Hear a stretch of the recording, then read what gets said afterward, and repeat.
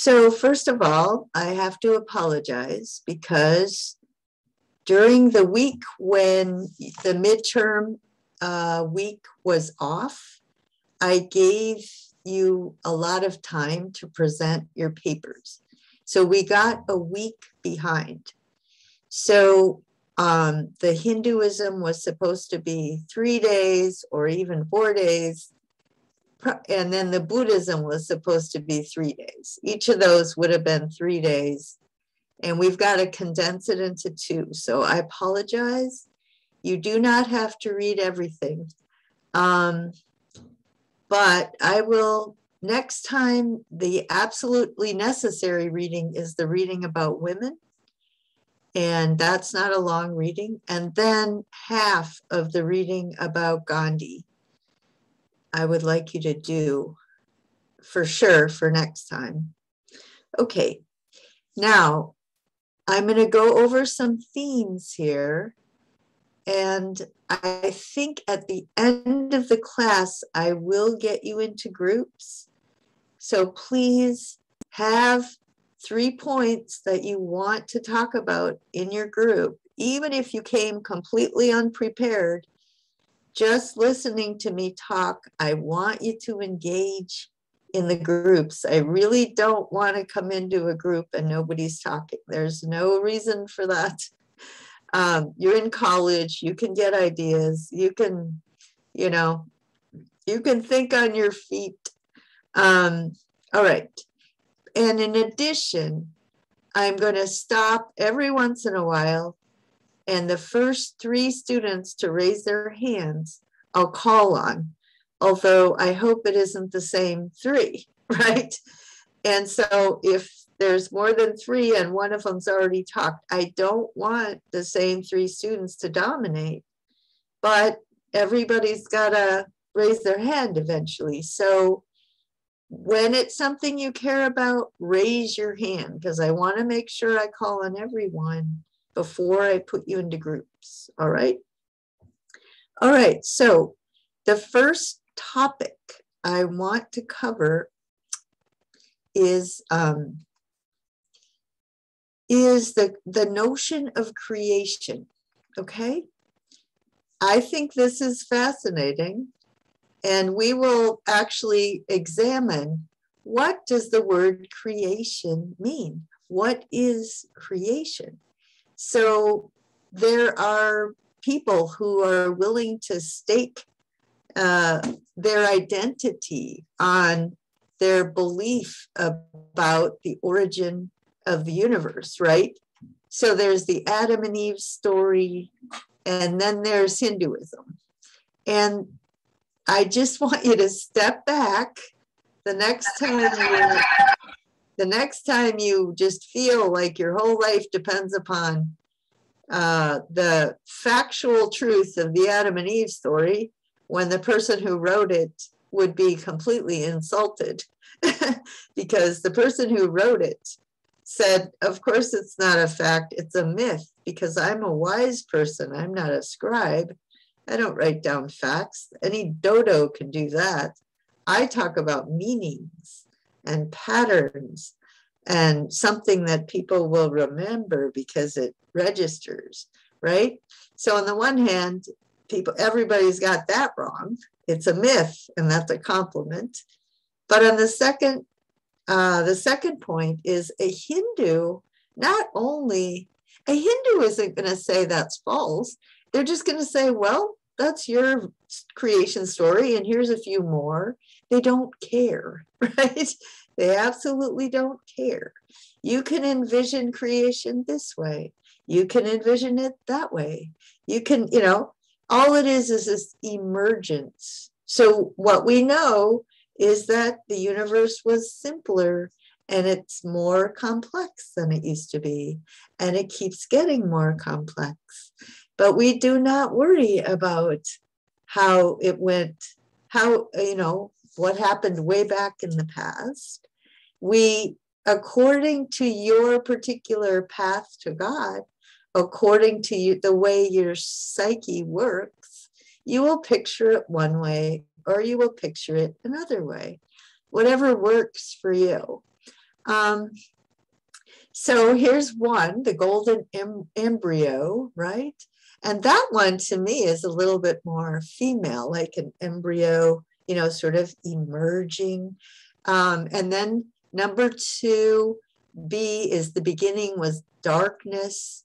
Um, and there was water. So you can compare this to, of course, the Adam and Eve story, which has this the Adam and Eve story again. The creation is starts from simpler things that are simpler to things that are more complex. So there's this gradual evolution toward higher levels of complexity. Um, in the beginning, the one evolved, okay, and this is how the second create the second author envisions it. They think of it as poetry, right? It's not fact, it's poetry. It's just an image of how things came to be. Um, then there's the third person uh, wanted to focus on hunger and death as motivators.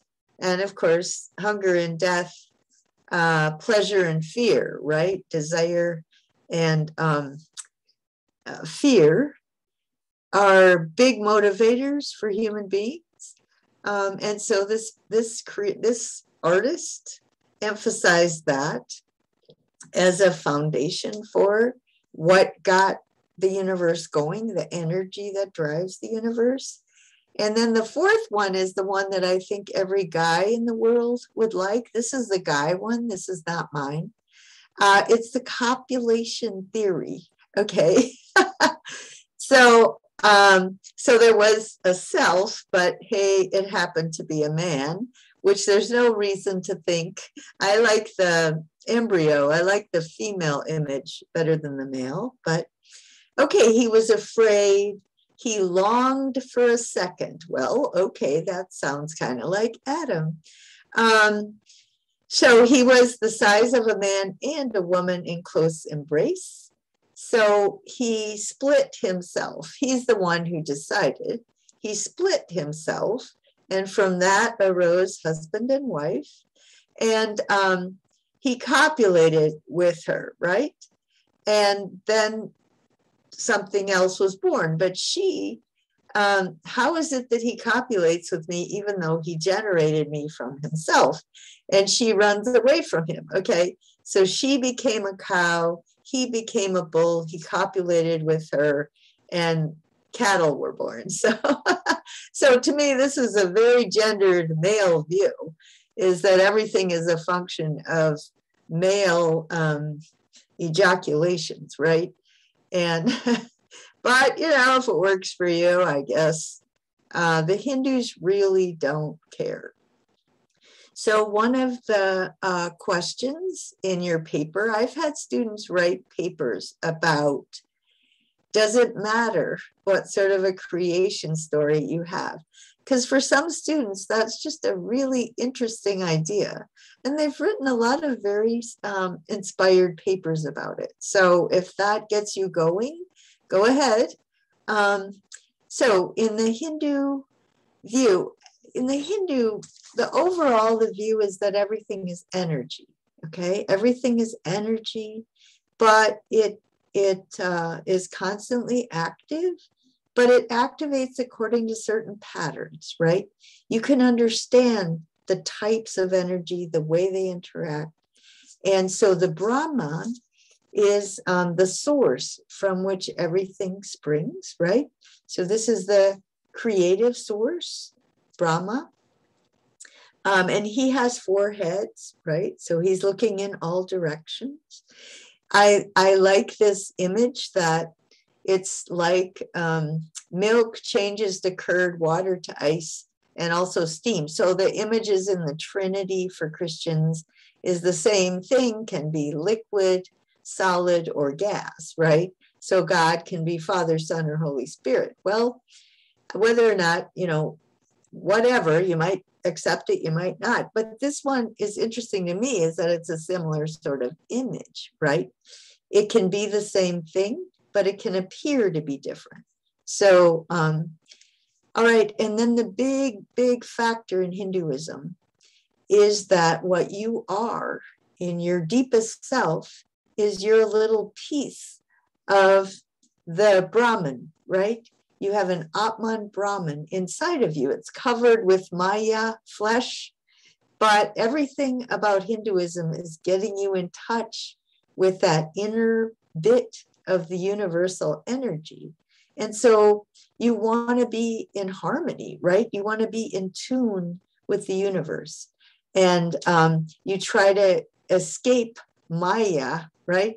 The physical flesh, because that's um, illusion, that's not real. What's real is this little piece. And it's already been incarnated a number of times. And now it's incarnated in your particular body. And after you die, it will be incarnated into something else.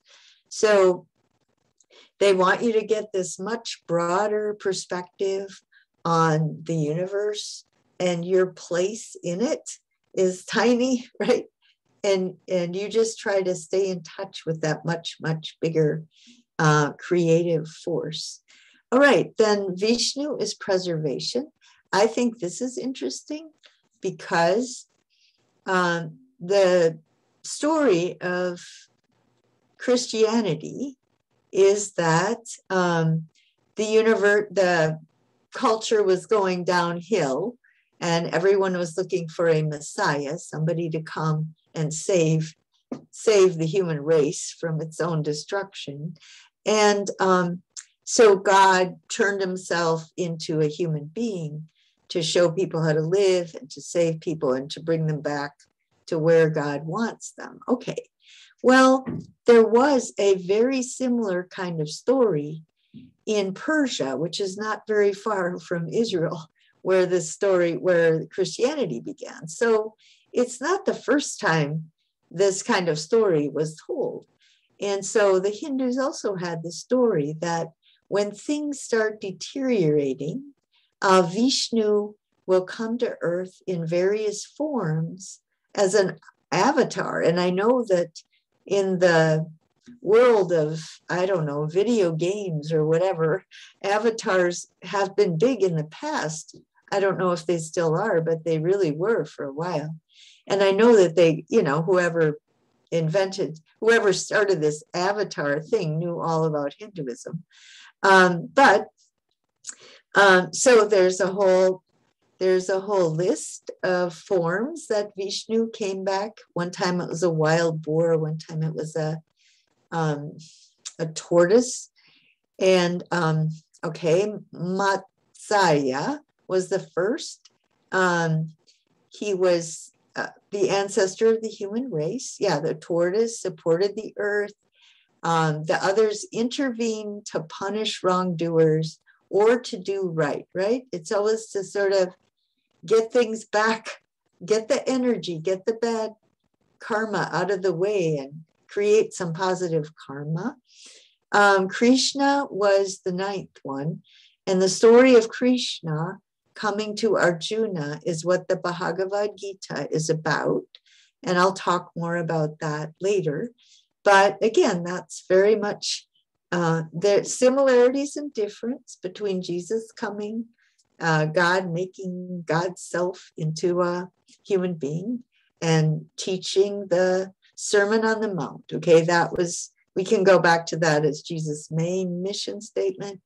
Um, and the notion that he was the Messiah, of course, that's very problematic. And did he know it? Blah, blah, blah, blah. Um, but just the idea of having God come to earth in the flesh or in the form of a human being is not new.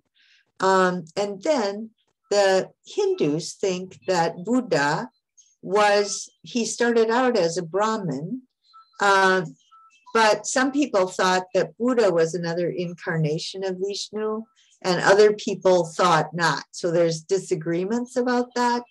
Um, and when we read Buddha, then you'll understand why there's disagreement. And another thing that's important is that they do have a theory of the end times, right?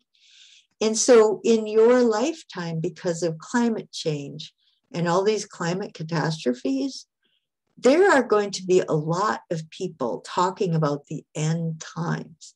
And I think liberally educated people, people who unite reason and faith, have to, you know, they have to not let that uh, control the culture because then people will do nothing in the face of climate change. They'll just say, well, it must be the end times.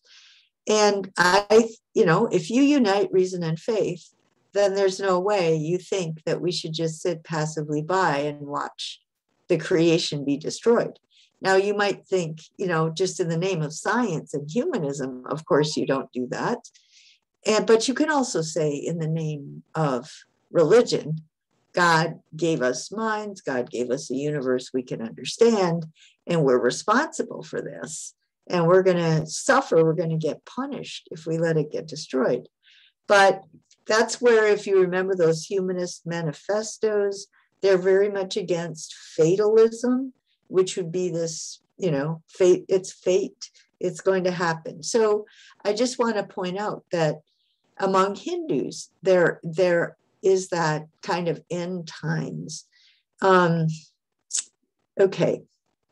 Shiva is, okay, the destructive. So there's three forces there's creation, preservation, and destruction.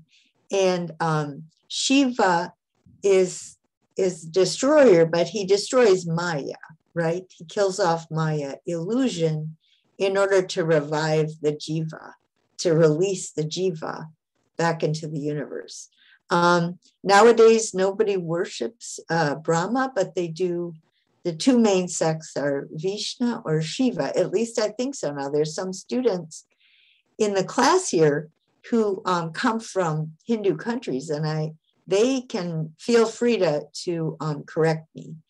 Okay, and so here are some of the documents if you want to read them.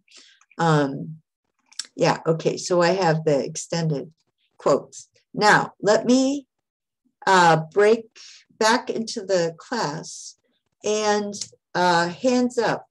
Three people who want to react to this idea that there are multiple creation stories and because people are think differently and they get led to the jiva differently and so it doesn't matter that much does anybody want to have a reaction to that, a comment? Alexis? Yeah, so even though I'm, you know, myself not religious, I kind of always, you know, had this idea that if there was some sort of creation or entity, that all of the sort of religions that we see throughout the entire world, it's kind of everybody's uh, idea of finding their purpose or, you know, what their own worldview. So that's kind of always been my perspective on everything that all the creation stories leads to the same thing. Yeah, and if people use them to divide each other, that's a real corruption, right? Right. Yeah. I mean, I I also don't think that you don't have any, you know, God can appear like even Christianity, God can appear in many different ways in many different forms. So why why is it such like a hard idea to believe that God is just appearing to somebody in like the Islamic way or the Hindu way or stuff like that. I don't understand why that concept is so hard to comprehend. Right. Good. Um, Destiny? I just think the um, inherent idea that multiple truths can exist at the same time is really interesting and powerful because truth is not necessarily um, a material thing, but an idea. Which is not to say that truth should not be based on the material, but that um, there can be certain ideal philosophies that um, can exist in tandem, even if at first glance they seem paradoxical. Right. So, how about this, Destiny? That what's actually out there, there's something out there but our language keeps getting in the way of our ability to describe it because our language is based on physical, immediate physical stuff.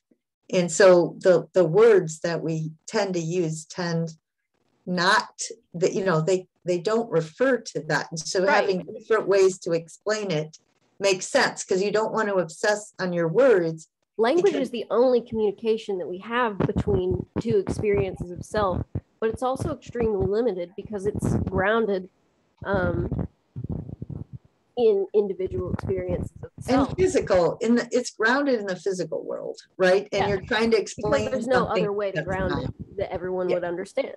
right Um, and uh, can I say more? sure Um, so in terms of that idea I was explaining about the um, the multiplicity of certain ideas that at first seem paradoxical, um, the one that comes to mind as an example is the paradox of tolerance. So there's this idea that in a tolerant society, one must tolerate all ideas, which at first is very simplistic, but then you realize that the paradox of tolerance is that you cannot tolerate intolerant ideas. Those things are both true, but um, they are not, uh, at first glance, very compatible. right and not only that but politics gets played Yes. um, there are people who come to liberal arts schools and deliberately say intolerant divisive things just to test. and then play on the tolerance, really- tolerance of others because they don't understand the paradox of tolerance or they never believed in tolerance as a concept to begin with. I think that's it. They want to destroy those institutions. And that's the way to do it from within. Exactly. Okay, yeah. Um, good. Thanks, Destiny. Um, Unta, Untari. Yes, Arvita. Um, so it's the idea of the end life, um, that it the importance of to consider both faith and reason and, and reason and no and faith uh, both faith and reasons yes. Uh, because if not the pattern will be the same i think. Uh, and it's happened. It's like when covid-19 occurs and a lot of people around me because I experienced it myself. Uh, they reject to get vaccinated, uh, vaccinated because they thought it was God will and it just like a God punishment, and they just accept it that way without even trying to um, try to fight against this disease, Professor. That's fatalism, right? That's what a Yes. humanist, but a religion does not have to be fatalistic, but it can be. That's that's a problem. Um, so that's why I like I like you to find out what you think about these questions. And also you have to know that you will be surrounded by people who have, you know, they've been told by their religious leaders or they have quotes in their holy books, right? Mhm. So it's it's an issue just to be prepared as you go into this world and have to lead it, which I'm sorry. Uh, but anyway, thanks, Untari. That that's important in a COVID world. Um, Kasturi, Um, yes, Professor. So uh, I would like to comment on the destruction part related to Hinduism. So, um, according to uh, Bhagavad Gita uh, and other religious books, uh, it's been told that um, the world is going to be destructed mm, after the end of Kali Yuga, which is the modern age that we are currently living in. So uh, it's quite weird when I uh, find the things that has been written in the book to be truth. You know, uh, for instance, uh, whenever I meet uh, people of uh, around your age. They will tell us that uh, when we were child and adults we didn't used to listen to uh, we we didn't used to hear any sort of uh, cases related to murders rape and uh, kidnappings and stops. But then right now these cases are increasing a lot and people are just uh, dominating each other they are just um, misbehaving you know like they are uh, some of the people they are uh, marrying uh, uh, people within the clan, which is uh, not a, which is not considered um, moral in Hinduism, right? So um, whenever they say such things, then I feel like it is not just a myth, but then it is true, and I and I find it really interesting because like whatever it is written in the book, it is uh, turning into truth, and I don't know whether uh, uh, the things written in the book are just myth or uh, people have written it based on reality. Okay, so that's why in this class, because liberal education unites reason and faith, there also are um, is Hindu humanism. So the humanist branch of Hinduism would say we're supposed to use our minds, right? And we're supposed to create good karma. And they would say um, that it's not that there are more rapes than there used to be, they're just being reported more, right? It's transparent.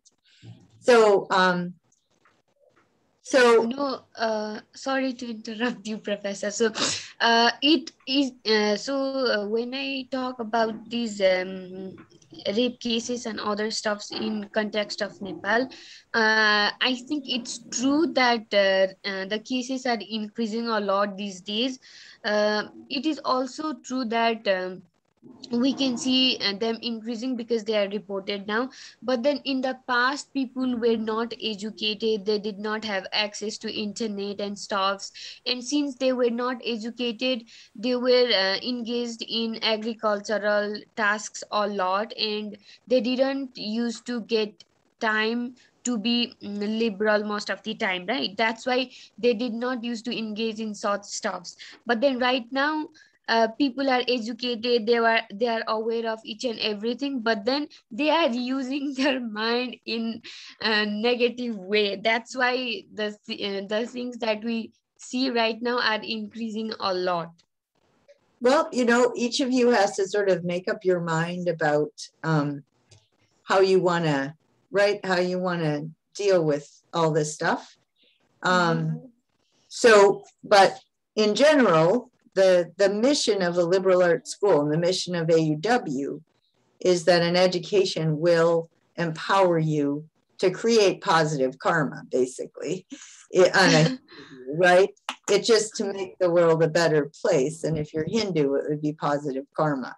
So that's the mission of AUW.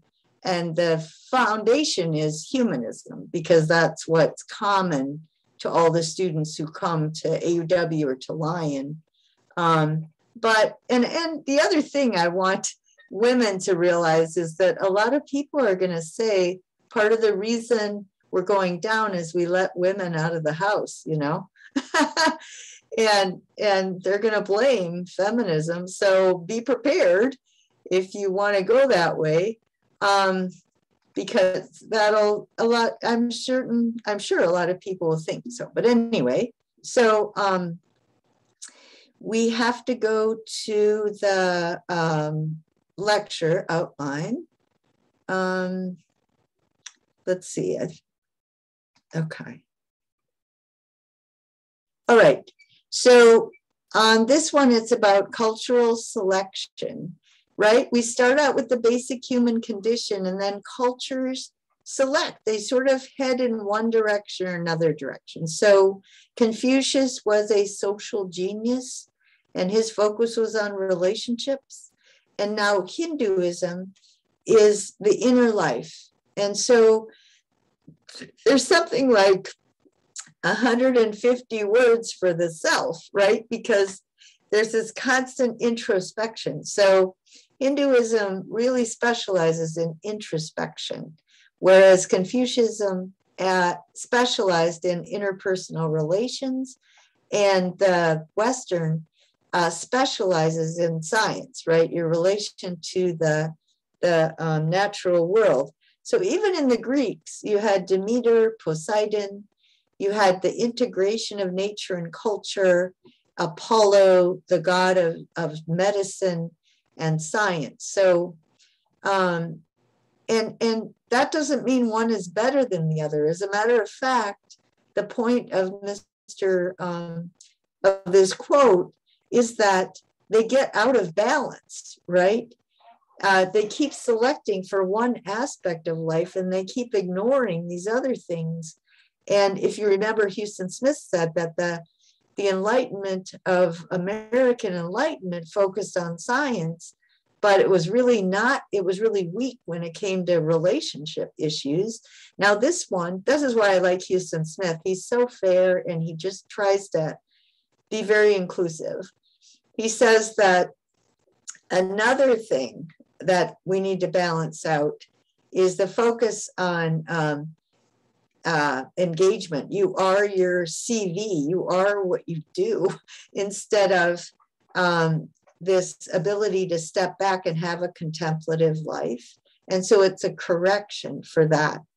Um, all right, so the notion of conversion, I have a, I have a, whoops, a couple documents. To convert simply means to turn around.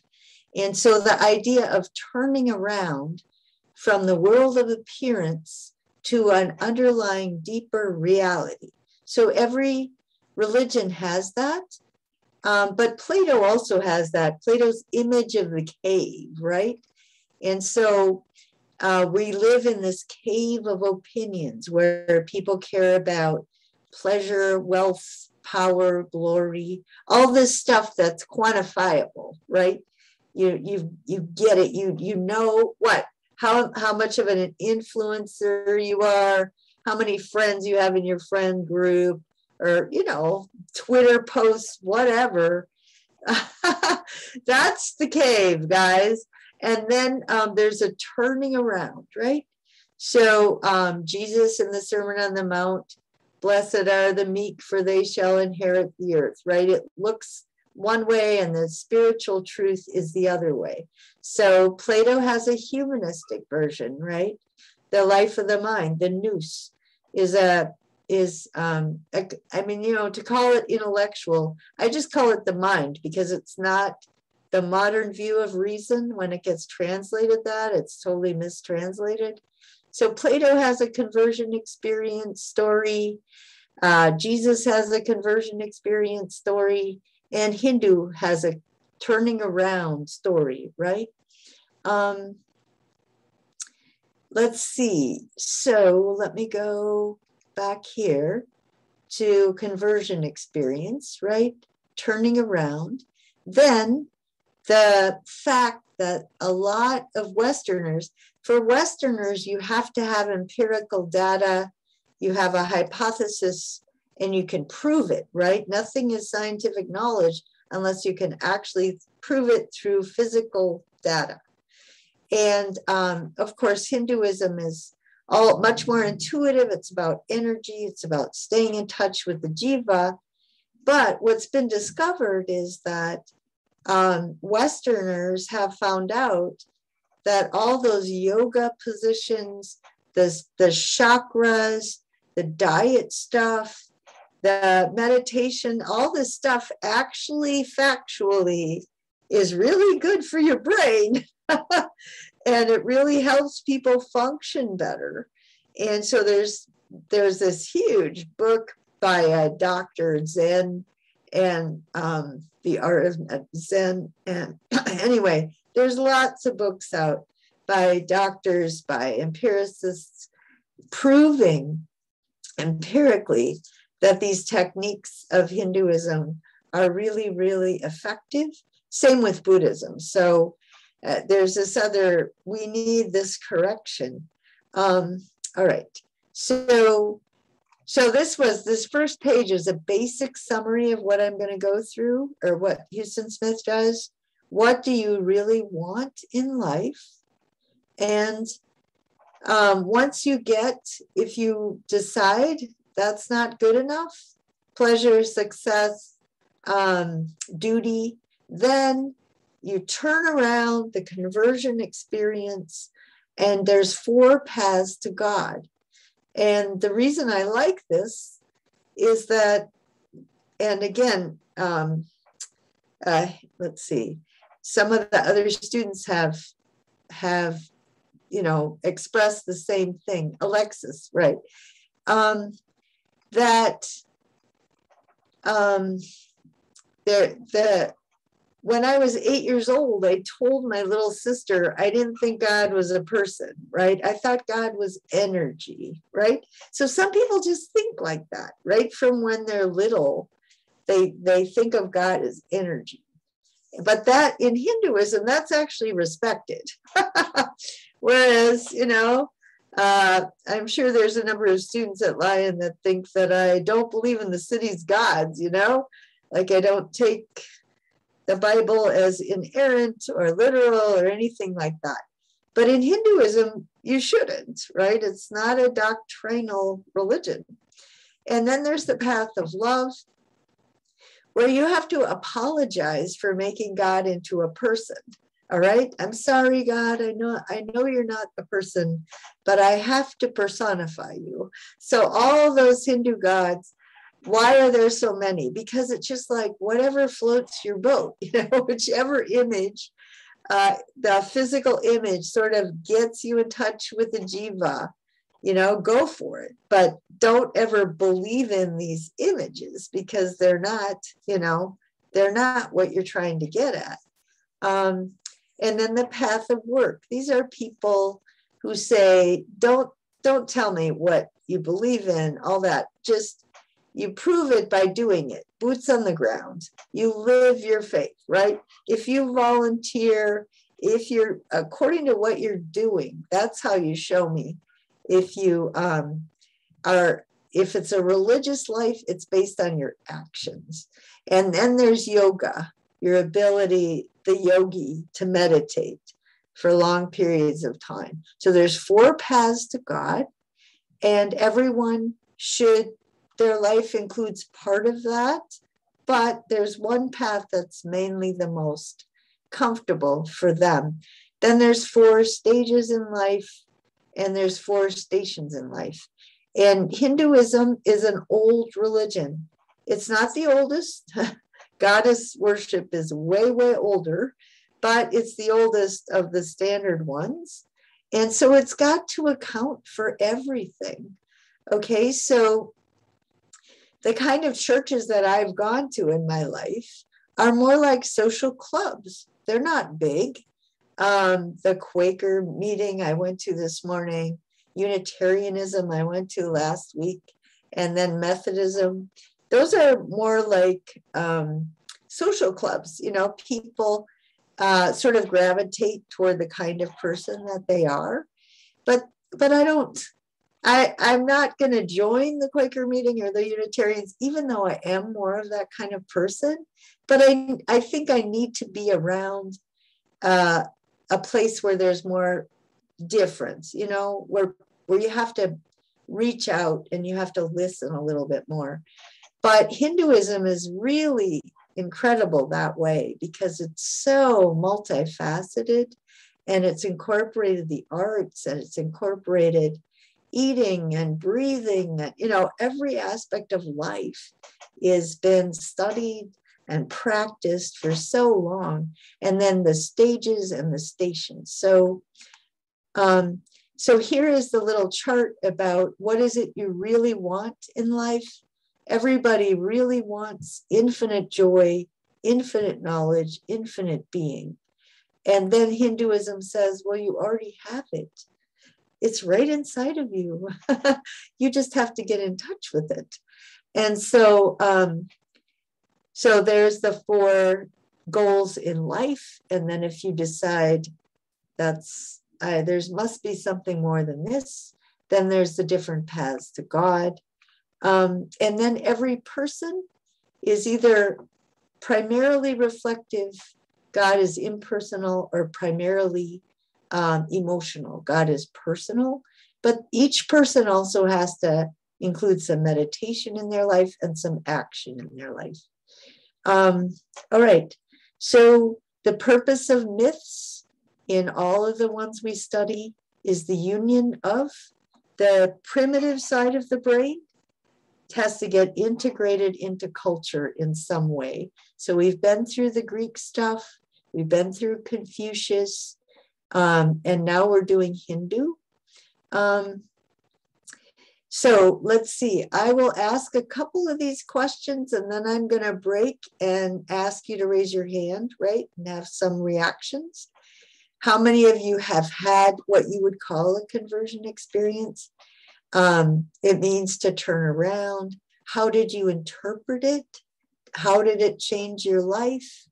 Um, okay, and what do you think the word soul means, of course? Um, let's see. And then there's the Western science um, and psychology versus Eastern mysticism. And um, even the West has this tradition, a contemplative tradition, the Benedictine tradition, um, and other monasteries, monastic traditions.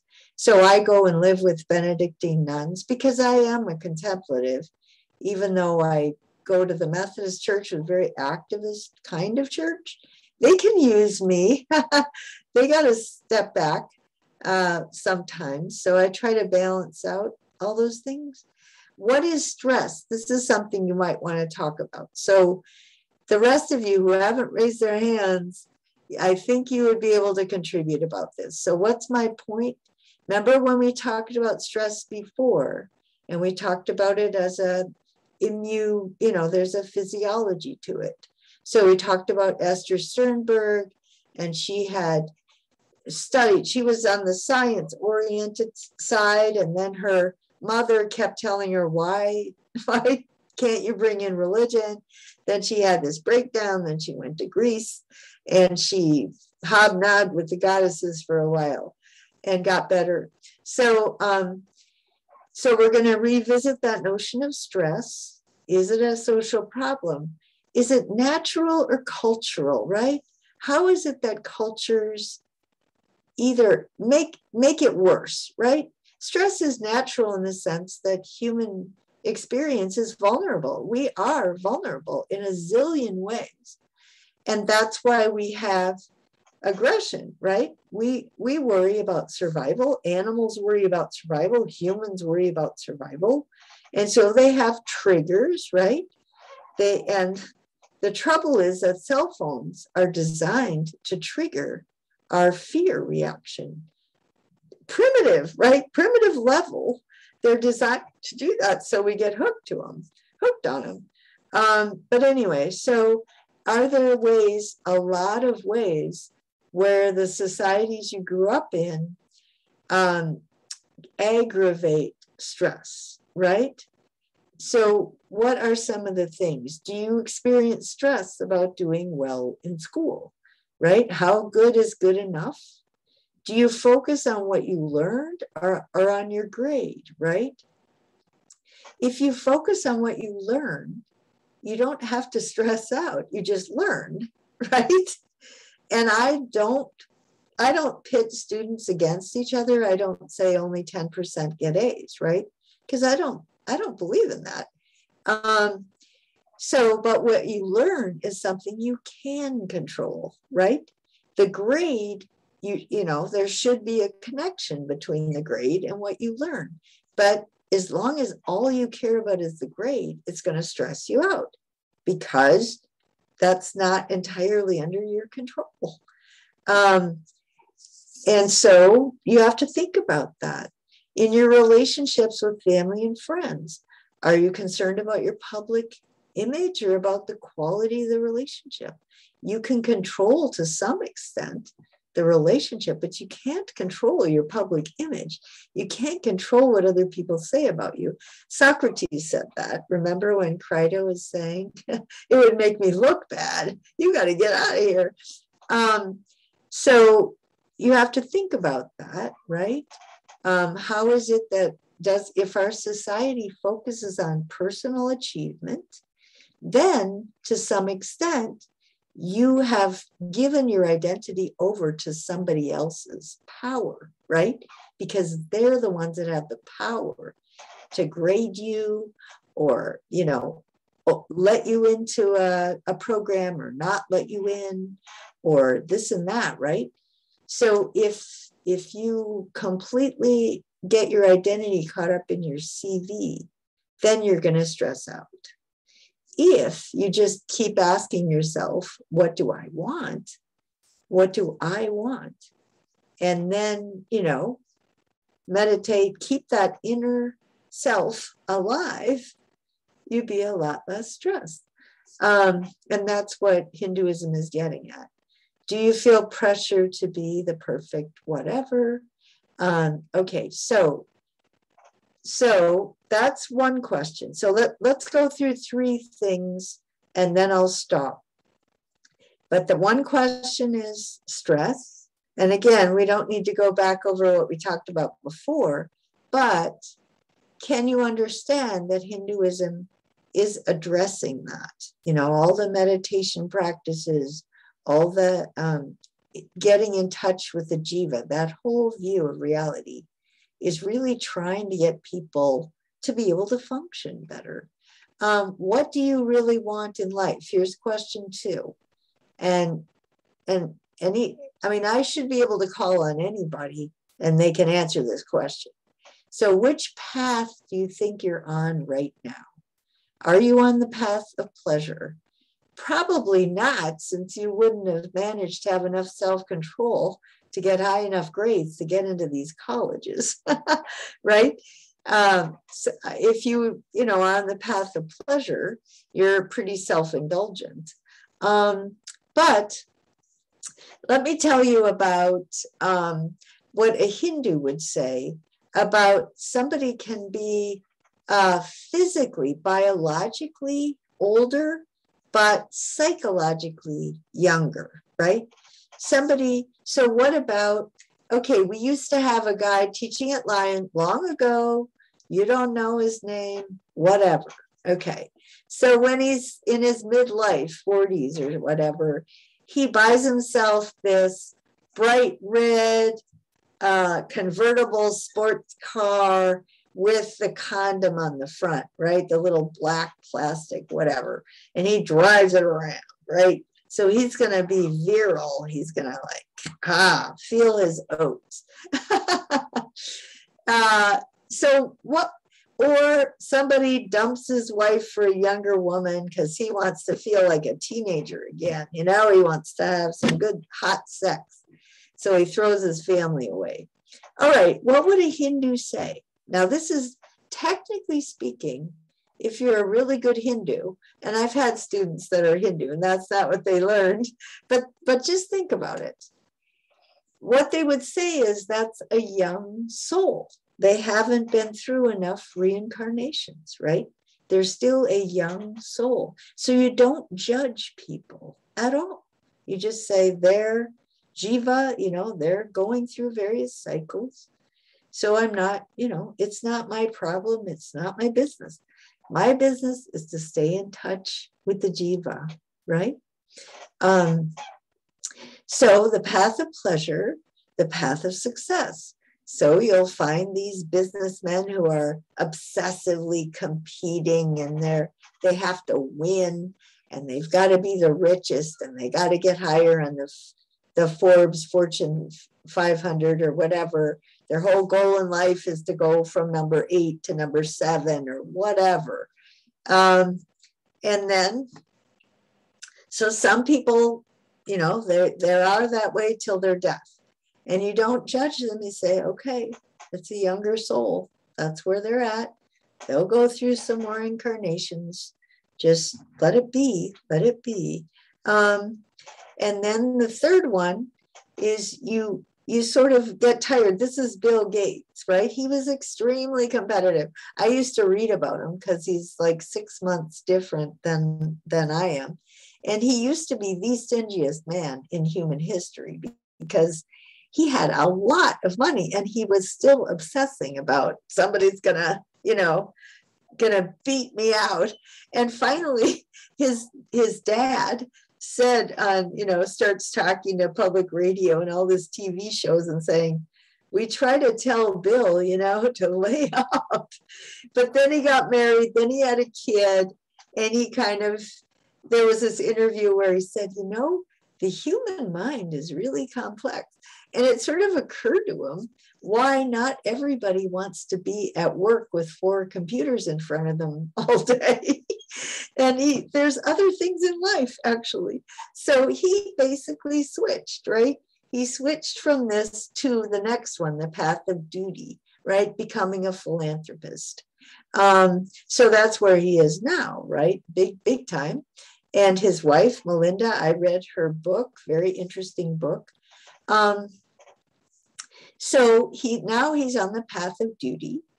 But the trouble is, you can give, you know, you can help nonprofits and they keep falling apart, or you can treat, keep trying to help people and they don't want to be helped. And it gets frustrating after a while. And so if you get to the point where even the path of duty just seems like you're on this endless, uh, it just doesn't seem to be getting uh, where I want to go. And uh, with climate change, I would not advise anybody to give up on that. But okay, so you can get to this point where you say, is that all there is? That's when Hinduism comes in, right? You're looking for something else. That's a spiritual crisis. So in the Bhagavad Gita, uh, Arjuna, his duty is to kill his cousins because his cousins have really offended the karma. They've created all this terrible karma. So his religious duty to bring back positive karma is to, to go to war with his own cousins. And he doesn't want to do it. You know, he just says, I can't do this. I can't do this. And then Krishna comes and says, Look, it's a religious duty. You do it, but you don't take any ego pleasure. You do it at, at a distance, right? You stay in touch with the jiva. All you're doing is trying to bring humanity back to something positive. Don't get your ego caught up in it. Don't, you know, you're just, it's a religious um, duty. It's, it's your your um, your particular lot in life at this point. The goal is always positive karma. That's the goal. Um, all right.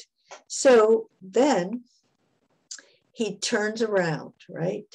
And um, he sees actually Arjuna has this vision of the Atman Brahman, of infinite knowledge, infinite joy, infinite. That's in like chapter nine.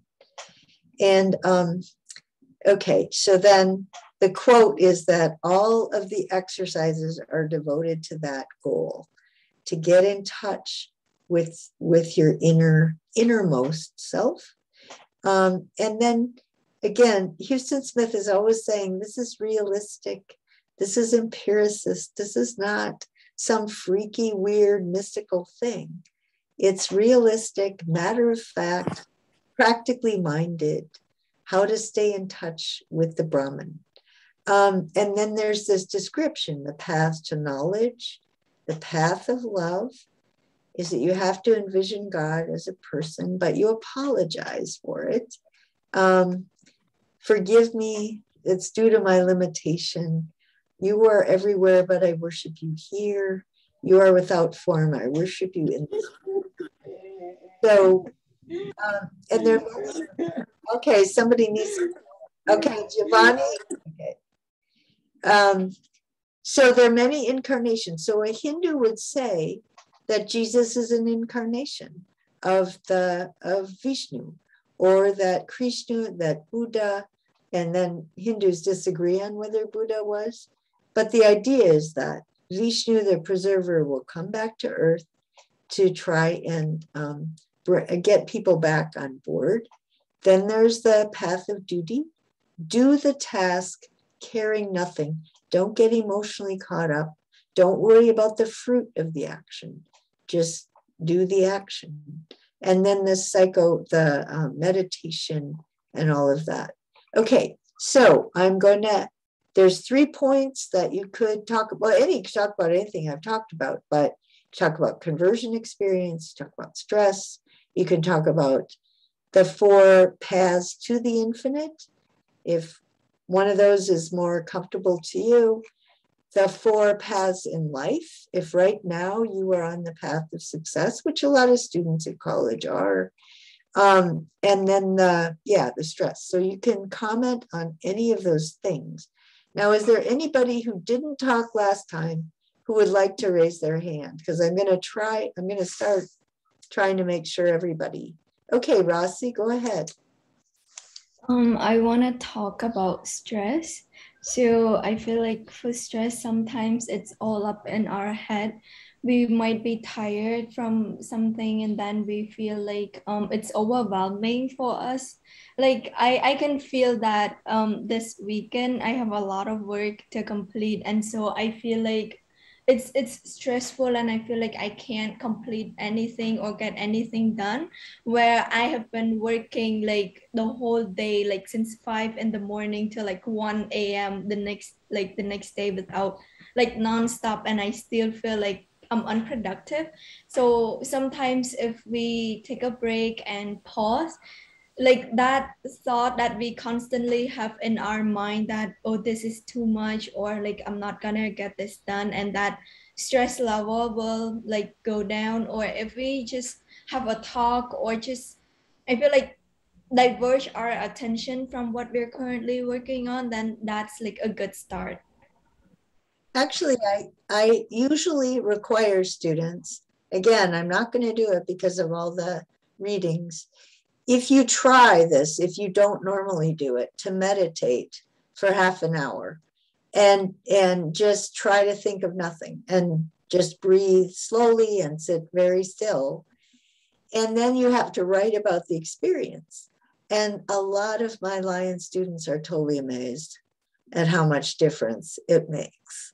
And it's just very sad that that hasn't been incorporated into their life at some point because in the West, we really are crazy busy and going on your phone and being motivated by fear and the Facebook thing.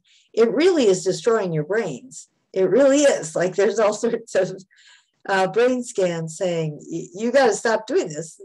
So that idea that the white matter in the back of your head is not developing or it's deteriorating, and the stuff in the front of your brain is is deteriorating because it's overstimulated you really do need to learn some sort of meditative or reflective practice uh, physiologically. Does that make sense, Rossi? And again, yeah, yeah you, Rossi is in a Buddhist family in a Buddhist country. So it's, I mean, just the way culture is, they sort of understand that to some extent, where America really is going way to an extreme.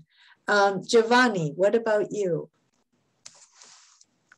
Um, I was kind of thinking about the the stress thing as well, and I think honestly, stress is like a natural thing, and it occurs with like any human that's like trying in life. You know, like anybody that's like trying to do better or aiming for something and is working towards it like that naturally builds stress within you because you start thinking about like if i can fail or or if I don't make it or if my standards are too low or whatever. And I feel like it's very like it's harsh to judge stress because it's like everybody in life has like different stress whereas I can be stressed about passing a class in college, but there's also people stressed about not even being able to get into college. You know what I mean? Oh yeah. So there's, like, there's levels for it and it's like it's really opinionated because one person can can think what you're dealing with, they would never even consider it stress. But it's just that the life you're living and your experiences is different. So to you, it, it may seem stressful, but I feel like what we have to do as like humans is just understand that like to help deal with the stress, I would say, I guess, is to uh, understand that like there's people living all, always worse off than you, you know? So like whatever you think that's bothering you or might be fighting or against you and in in your time of trying, like you always have to remember that like there's somebody ten times off worse than you. So right. yeah, that's that's basically it. Right. If you think of Hinduism, six thousand years old, people had a lot of problems, right? They had health problems. They, I mean, no, they had a lot, and they still do, um, and they managed to develop this system. Um, and I do I do want to give you a quote. It reminds me of that. But just in my own case, my father grew up uh, in a dysfunctional household, and then he went in the depression. He was really poor. They didn't even have water. He had to dig a well. Um, and then he went through the war. And so when he got home, nothing bothered him, right? like he was never stressed because America then became more and more affluent. Well, then his children, you know, we have, you know, we can't, we have a totally different orientation. And I think he probably got kind of frustrated sometimes with what we took as important because like, but he didn't talk about it. He never talked about the depression because it wasn't he didn't want his kids to be exposed to that. The trouble is you don't get any perspective. So there's that. Yeah, and, I understand what you mean. Yeah. And then there's um, just people, oftentimes, yeah, I do think all of you do need to keep asking, well, what do I really want? I've asked myself many times, right? What do you really want? And then you just, you know, stay focused. And then you make sure to, to say, well, I tried, right? Like you can't say, I want to get straight A's. You could say, I'm going to try my best at these different subjects.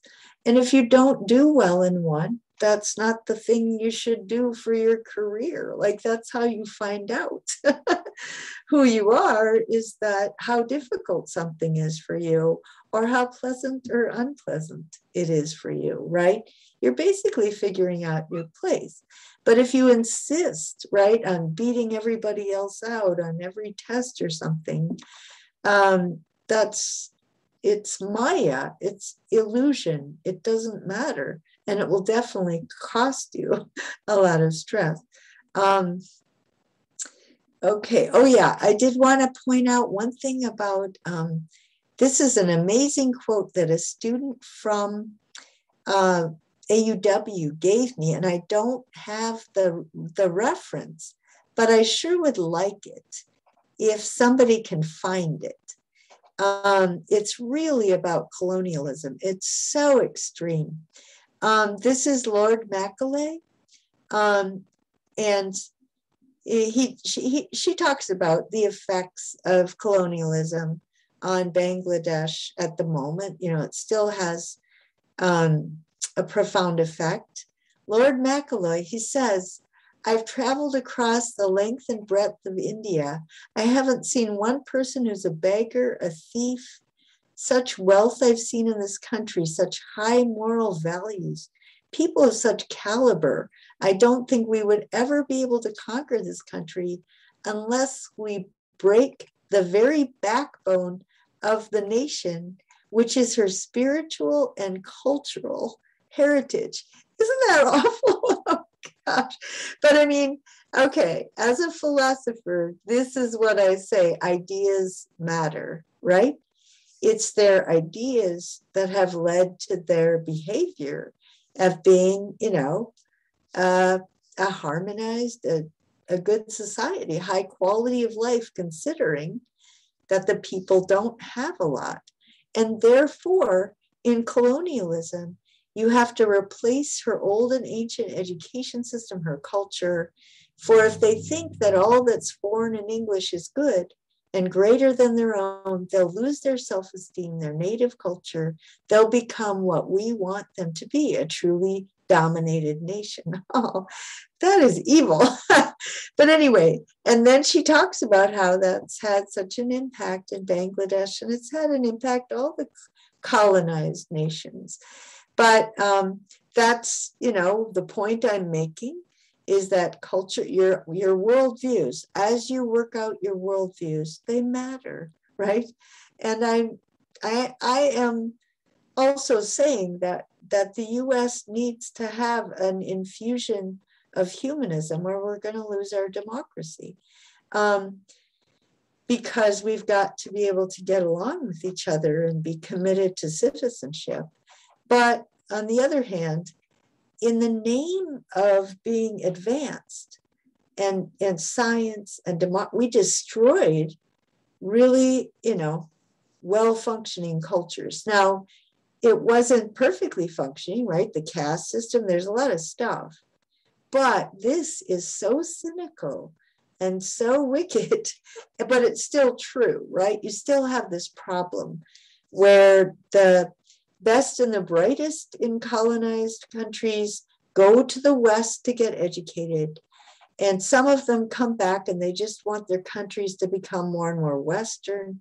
And some of them at this point are saying no. And so there's really a lot of interesting dialogue going on about what should we keep from our ancient culture and what should we uh, adapt. And then there's, of course, the economic system that's destroying all of us in some ways, but it's creating wealth, but it's also creating a lot of materialism and a lot of problems.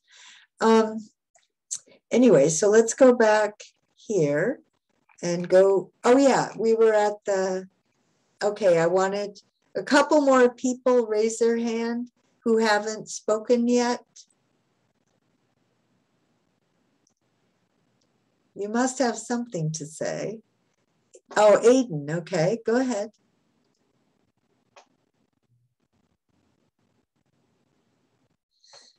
Um, so going off of uh, since we talked about like how when people go to like war and they come back, um, stuff just doesn't stress them out as much. So I read um, that one of the reasons that veterans have trouble coming back to normal life after they go to war is because it doesn't stress them out so much. Um, so like, because when they're in war, every like second matters because they're always fighting for their life.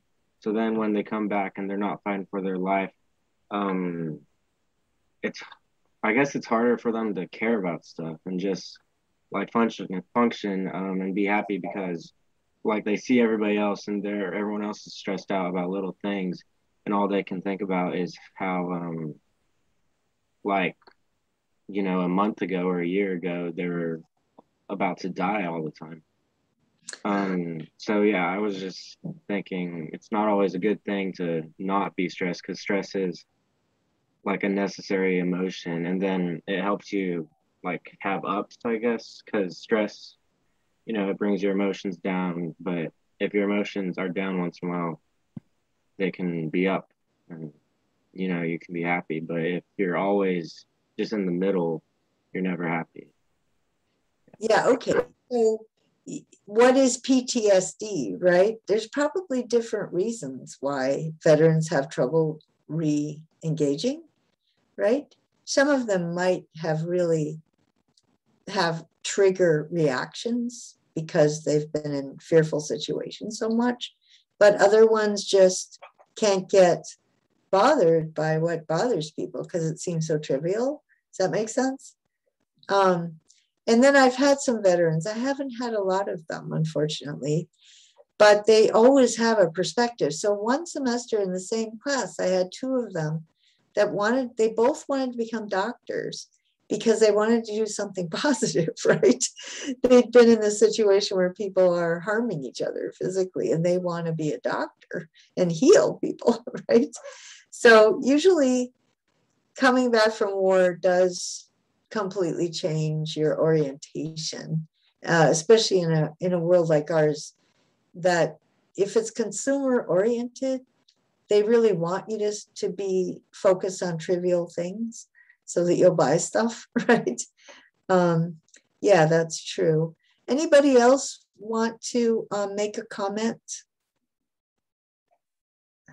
Okay, so uh, Samantha, go ahead.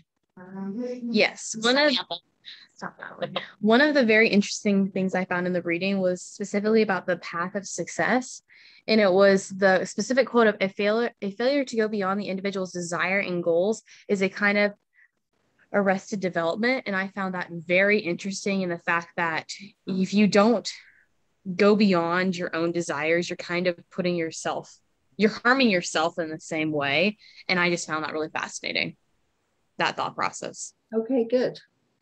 Um yeah does it really make you happy to be obsessed about your own success all the time. um, yeah, you should think about it. Um, and, and Huston Smith says things like, we really aren't wired. We're really wired to look at the bigger picture. And that's what makes us happy.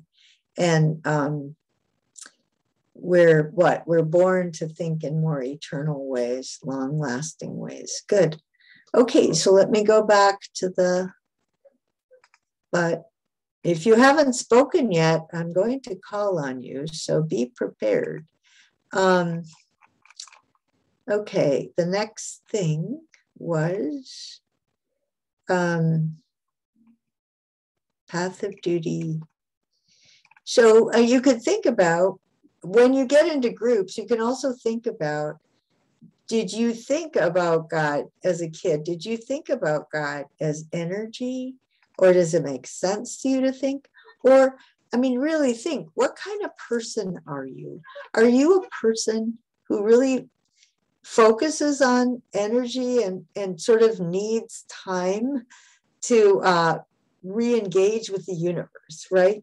I I'm weird that way, right? I got to get out and go walking in the morning, get my body going, but just get in touch with the universe, basically. Um, but most people, they, they their path to God or their their path to humanism, it doesn't have to be any sort of divinity, right? Their way of becoming a humanist definitely has to do with relationships, right? relationships and constantly weaving people together or the friendships you have really make or break your life. And a lot of people are like that. Um, then the other type are doing, right? Don't talk to me about, just show me that you're a good person by what you do, right? So it might be somebody who starts an organization, it might be somebody who um, just gets people to do this or gets people to do that because doing is the way that you prove that you're making the world a better place, right? So activists, uh, like during the during the Vietnam War, it was always uh, not to decide is to decide, right? If you don't demonstrate, then nothing is going to change. So you've got to get out there, get your boots on the ground, and and get your butt out there. Well, the thing about me is when I was out there, I would go out there, but people were in it for the wrong reason, right? Some people were demonstrating for the wrong reasons. And I thought, just narcissism, I don't want to get hurt, or just rebellion, or whatever. And I thought, it's not going to last, right? If you if you're doing it for the wrong reason, it will go down in history as some kind of narcissism instead of questioning Western imperialism, right? So it does matter why you're there. It also matters that you're nonviolent rather than violent. But um, so that's how I ended up being more of a contemplative because it isn't just what you do. But for a lot of people, it is just what you do. So those are people on the path of action. So you have to think which one am I, right? Reflection, uh, relationships, love, action, or um, meditation. Um, so the, the thought there is that I don't know how many of you um, would do this, but I think in America it would be crazy. What if on Monday morning somebody asked you, Did you have a good weekend? And you said, Yes, I sat and stared into space for two days straight. It was wonderful. I, uh, you know, most Americans, they wouldn't do it. But if they did, it would, you're lazy, you're being lazy. Like, no, that's that's really bad. Uh, but you know, in Hinduism, that's you're a yogi, right? That's your orientation. Um, so I want you to, when you're in your little in your small groups, please talk about that.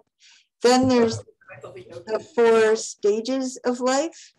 Um, so when you no.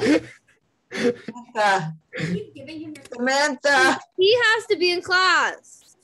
Samantha, Mute. That wasn't me, Professor. Oh, it's not?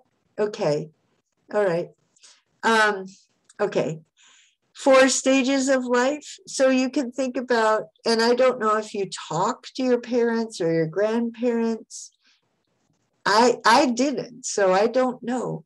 But um, do they talk about different stages in life? Right? You're just preoccupied with different things, and that's perfectly fine. Right? You can't. You don't want to be focused on the same things your whole life. So um, when my kids were pre first grade, my brain was like in a different spot because it was just obsessed about this little kid. And then when my daughter and my daughter in law had little kids, I noticed that, right? They're in that space. They're in this, it's pretty primitive, really. And it doesn't show like you wouldn't know it uh, you'd have to sort of be there to, to be able to recognize it. Um, but there's a part of you that just never ever stops thinking about that little baby because they're so vulnerable. So then there's the household phase where you have different orientation. Then there's um, stepping back. And so um, this is another thing where the religion makes a huge difference and you don't even know it or the culture.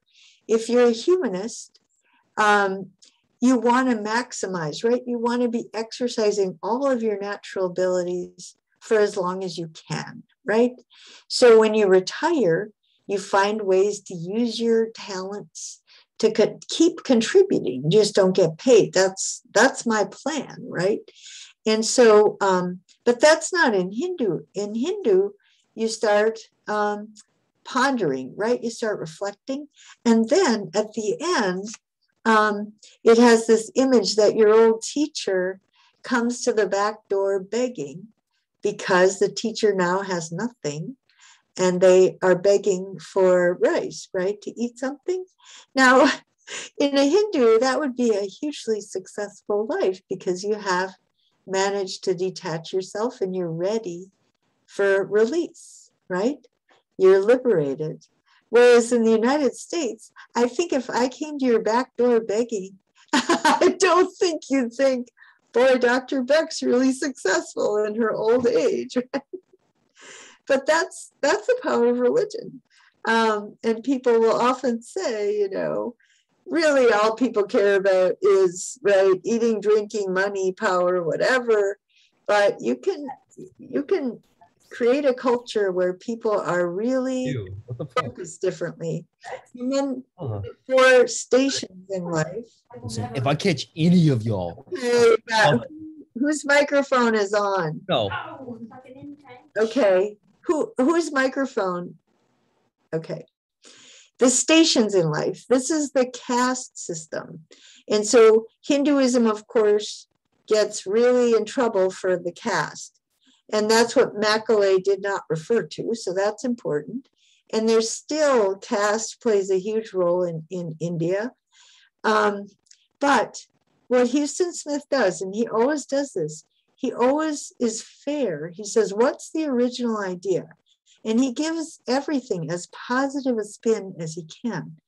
And so the original idea is that people are spiritually different. And so some people are the seers, right? The artists, the intellectuals, the ones who um, understand like these patterns and they can guide, right? The culture guide people and they become the professors, the teachers, they become the artists, maybe the preachers or the religious leaders. And they don't need money, but they need leisure time to think, right? Then there's the administrators, the people who run everything, and they don't have time, but they are they they're given the most responsibility, so they're given power and money, but they also are punished the most because they're trusted, right? So you really need the people who you get entrust with power and money and, and responsibility are also the people you should punish the most if they abuse it. Then there's the producers who have less responsibility. And then there's the laborers. And so what he said was even with all that poverty and all that uh, population, they never resorted to slavery. They just have to figure out the least talented, and then there's social demands for pretty low level manual labor. So, um, my own view is that Bill Gates couldn't run Microsoft unless somebody was there to build the buildings, somebody is there to clean the floor, somebody's there to clean the toilets. Um, so I, I think there should be an income dis- difference, but it shouldn't be 350 times, which it is right now. There's a the CEO makes 300 times more than the person at the bottom, the receptionist or whatever. And so that's where I think people are different in their abilities. They're also different in what they're interested in. There's just the doer type people. There was somebody on the grounds crew at Lyon, and he said, I used to be an engineer. I worked in an office. I hate it. I hated it. I just want to come out here and, you know, uh, do the blow blow leaves and shovel snow, or you know, just take care of the grounds crew. That's where I'm happy and I do, I think it's fine. I just don't think the income disparity should be that great because I think we ought to, we do depend on each other and we do need each other. And that's not socialism or Marxism, that's just the truth. Um, but what happens, the problem is that kids are born with their own spiritual calling and their own interests and passions. But if their parents are powerful. You know, what would a parent who's um, uh, the president of some company, what if somebody tells them, you know, your son really is a natural ditch digger? I mean, he really, that's, he's going to be comfortable as a ground crew person. Well, they don't want to say that, you know, they don't ever want their kids to go down in, in the ladder. And that's why it gets corrupted is that people um, uh, pass on to their children their same levels of status and money or more. They just won't allow these natural orientations to um, emerge. And that's the same with the Greek. All the Greek deities represent different passions, and parents don't want them to do that. And then Jesus's parents were mad when they caught him in the in the uh, church um, talking to the to the rabbis.